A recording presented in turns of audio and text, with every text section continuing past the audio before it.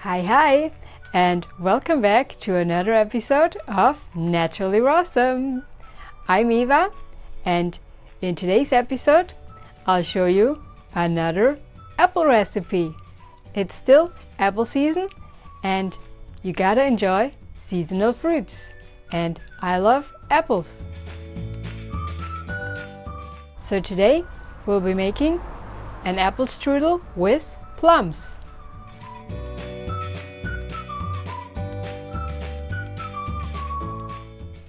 Are you excited yet? Then let's take a look at the ingredients. For this Rawsome strudel, you will need 2 to 3 cored and peeled apples and keep the peel under course. And yes, you don't need a bee. And you will also need 4 to 5 soaked plums that I've soaked for 1 to 2 hours and a few raisins. And last but not least, you will need some rectangle fruit papers that you can make by blending up apples and bananas, spreading them on a dehydrator sheet and drying them until they are soft. And finally, you will need a mandolin to slice up your apples. And once you got all your ingredients at hand, then we're ready to start making our apple strudel. So first of all, I'm gonna quarter my cored apples and then I'm gonna use my mandolin to grate them and make super thin apple slices. And make sure to take care of your fingers.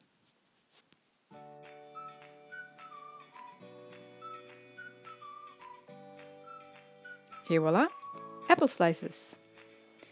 And now we'll use our cores and our peel and put this into the blender.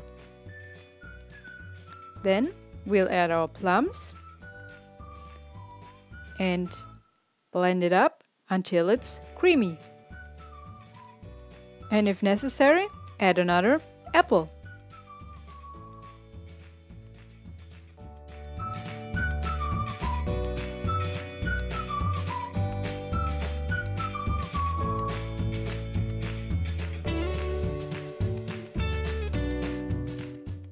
Once it's creamy enough, we'll pour our apple plum sauce on top of our apple slices.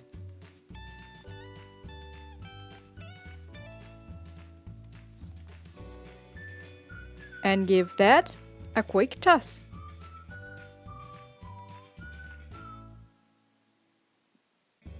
And if you like, add some raisins. But for me, there always gotta be raisins in an apple strudel. In the following step, we'll use our fruit paper and put a little bit of our apple slices with plum sauce on top, right into the middle. Spread it to the sides. And once you've covered it pretty well, we'll flip the right and the left side on top, put it together, et voila, apple strudel is ready. And you can now take your strudel and put it on a plate. Et voila, apple strudel.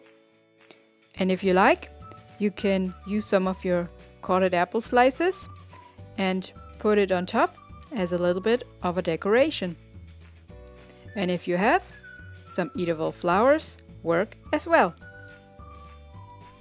It's ready and you can now put this aside for about half an hour so it soaks through and the dough gets very mushy and soft.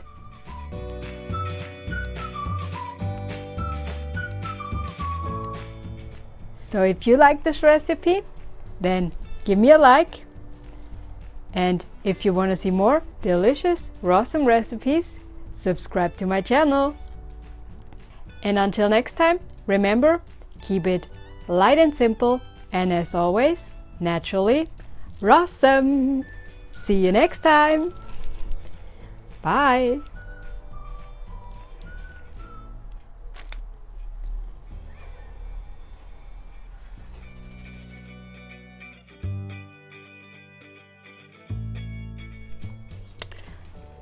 So I think the filling already tastes pretty amazing.